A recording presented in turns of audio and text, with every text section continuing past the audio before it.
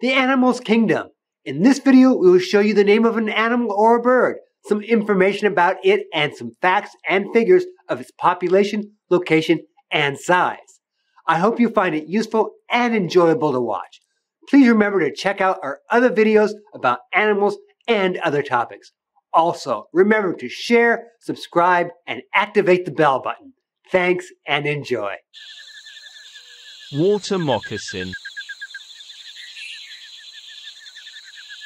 Agkistrodon piscivorus is a species of pit viper belonging to the Crotalinae subfamily of the Viperidae family.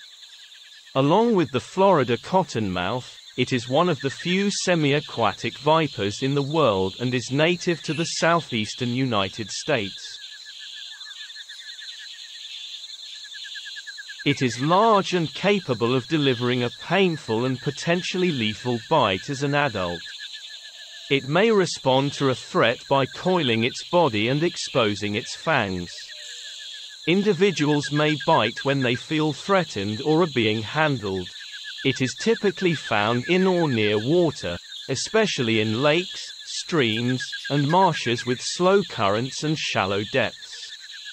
It is a proficient swimmer and, like several other species of snakes, has been observed entering bays and estuaries and swimming between barrier islands and the mainland. The scientific name translates to fish-eating hookteeth. Variants of cottonmouth, water moccasin, swamp moccasin, black moccasin, and viper are common names. Numerous common names refer to the threat display in which this species will frequently stand its ground and gape at an intruder, revealing the white lining of its mouth. Many scientists dislike the term water moccasin because it can lead to confusion between non-venomous water snakes and venomous cottonmouths.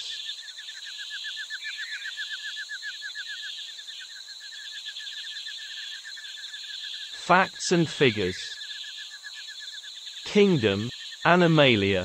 Population size, unknown. Lifespan, 24 years. Weight, 201 to 580 gram. Length, 65 to 90 centimeter.